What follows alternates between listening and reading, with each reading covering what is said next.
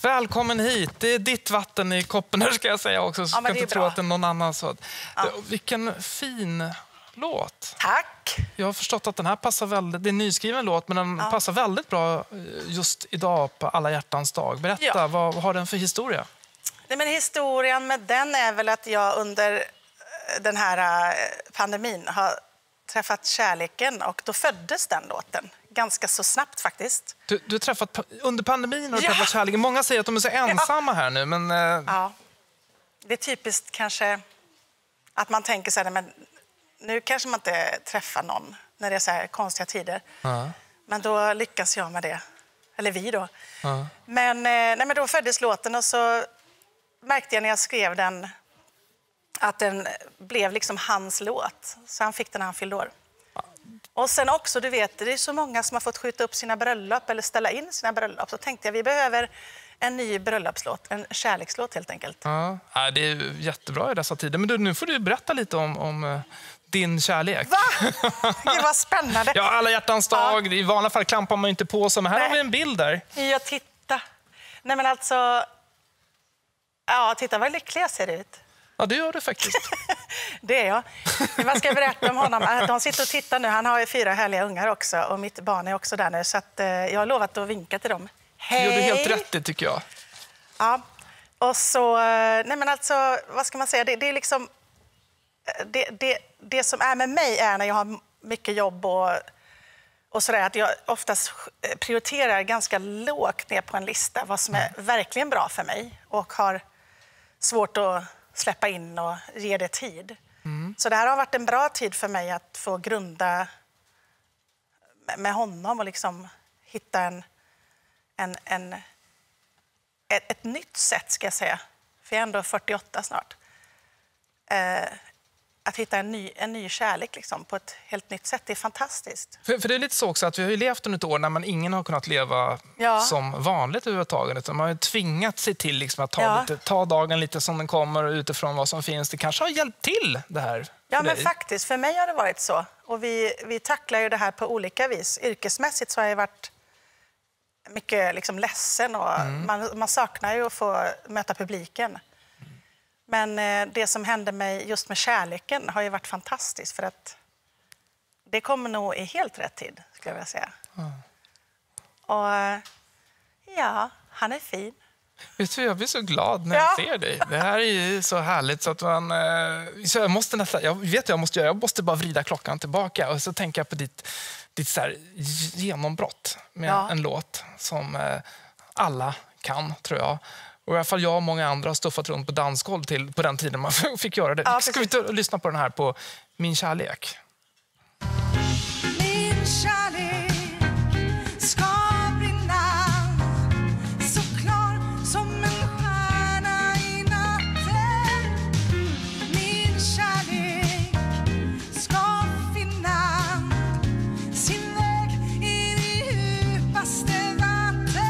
Ja, Min kärlek. Den här låten, eh, Melodifestivalen från början. Det här var nog, vi tror att det var Bingolotto, va? Ja, jag vi tror det. Ja. Vad har den här kär- låten betytt för dig?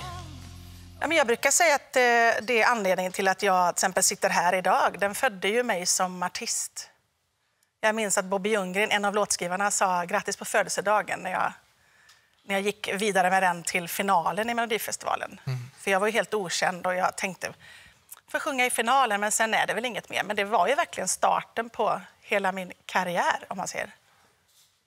Så jag är evigt tacksam för den. Den är Många låtar i Melodifestivalen de, de glöms ju faktiskt bort och Mm. förbrukas lite grann. Men jag minns ju själv när jag såg, såg det här att du Ja. kom och det var ungefär som att se 3D-tv för du klev rakt ut i vardagsrummet. Åh, och så tyckte va- alla, på, och då var det en fest också förstås. Ja. Det var på den tiden man hade fester. Det var på den tiden man hade festat. Nej, men vad kul att höra. Nej, men jag tror också att jag var så himla glad, speciellt i finalen. För då var jag så här, tänk att jag fick vara här bland alla kändisar. Liksom.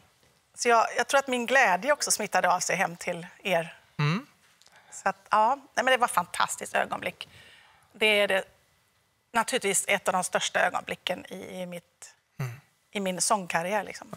Sen har ju karriär, karriären rullat på för du har varit med i Melodifestivalen rätt många gånger. Både som artist och som låtskrivare också tror Ja. jag. Så, hur många gånger är det? Sex gånger? Sex gånger. Ja, lite gäng. Och sen vet jag att du har... Vi, ska, vi kan ändå prata lite om, om det här 2021 Ja. som möjligen, kan vi hoppas, blir ett, ett roligare år på många sätt, men också för, för era artister. För du Mm. Ja. har ju planer. Jag har planer. Ja. Alltså, alltså samtidigt som man har sörjt eh, många spelningar och eh, turnéer och eh, uppdrag som fick ställas in eller flyttas fram så har jag haft tur, måste jag säga. Jag är evigt tacksam för det. Att få jobb. Så att jag har en musikal framför mig nu som vi håller på att repar in på Stockholms stadsteater. Där jag ska spela Abbedissan i Sound of Music. Åh, vilken härlig, ja, det är rolig roll. Ja, det är en utmaning och väldigt kul. Jag känner mig trygg bland alla de här fantastiska musikalartisterna och skådespelarna. Så det är häftigt att få vara där. Och sen eh, ska jag leda Andra chansen i Melodifestivalen då. Och jag är bara så här, tack för att det kom på mitt bord. Jag, jag, jag kan inte förstå annars hur man skulle överlevt varken mentalt eller ekonomiskt, om jag ska vara krass. Det är så kärvt alltså? Ja, men alltså, det, jag hör alltså skräckhistorier om, om kollegor och, och, och vänner som eh, inte vet hur det ska gå runt och sådär. Och Då är man nästan lite så här, "Haha, förlåt men jag har, några, jag har lite jobb. Eh, och samtidigt är de jätteglada för mig. Men det är tuffa tider, absolut. Det eh, har varit fruktansvärt för vår bransch på det viset.